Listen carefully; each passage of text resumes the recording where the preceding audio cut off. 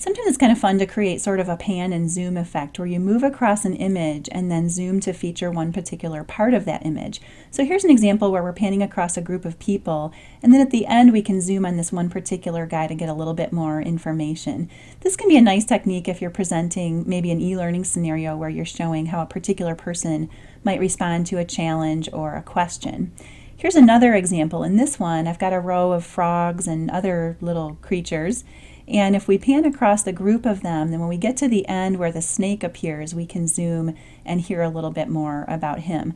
So let's see how we build something like this. What you can do is create your own panoramic image by piecing together several individual images. So in this example, um, I just used several images of people, and most of these images I got free from elearningart.com as a free download. And then I just selected them all and grouped them as one image.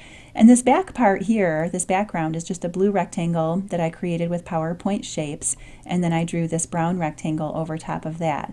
What we're going to do here is build two slides, one for the pan and one for the zoom.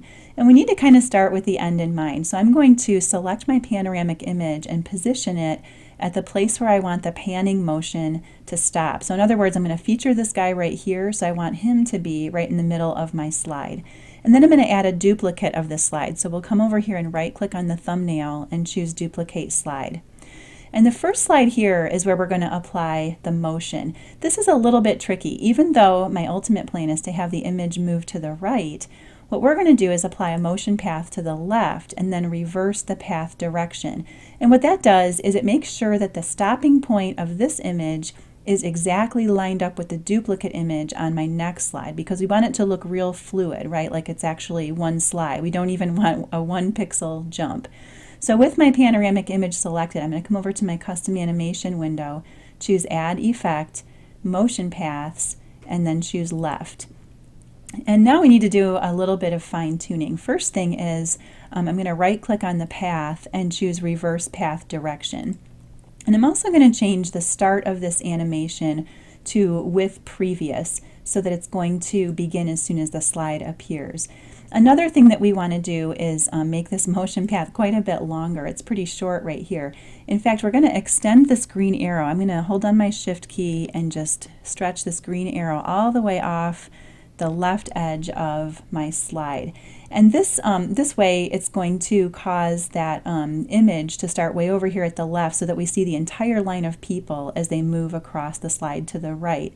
And this is something that you'll need to play with a little bit um, as far as the length of your motion path depending on the size of the image that you're using. The other thing that you'll want to adjust is the timing. So let's come back over here, select the motion path, and then choose timing. And I'm going to set this one at about six seconds. That feels about right to me um, because I might want to, you know, fit in a little bit of narration or something while we're panning across these people. So let's look at this preview. This looks pretty good and it looks like we're stopping in about the right place. So that looks good. Now let's think about how we can zoom in on this last character here, this guy. What I've already done here is um, on slide three, I created a larger version of that same image. I just copied the same graphic and then I sized it up a, uh, quite a bit to take up most of the slide. And then I used PowerPoint's cropping tool, which you can get to from the Format tab and then choose Crop, just to get rid of the part of the image that I didn't need.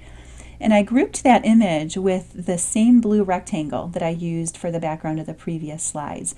Now, now that I've made my zoom, I'm just going to go ahead and right click and cut from this slide, move to slide two, and then I'm going to paste it right over the images on slide two. And now we just need to add that zoom animation. So with that image selected, I'm going to choose add effect, entrance, and then choose faded zoom. And once again, I'm going to choose the start to be uh, with previous so that it happens as soon as the slide appears. And then from here, if you wanted to, you could add, you know, a thought bubble over here or a call out like I did in the example that we saw earlier.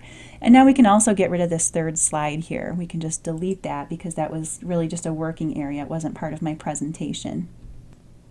Okay, so just to show you another look at how this appears when you publish from Presenter, here's how that panning motion is going to look. And then at the end of the pan, then we can zoom in to feature this one particular character that appears at the end. So I hope that maybe gives you some new ideas for ways you can liven up your scenarios with motion paths and zooming.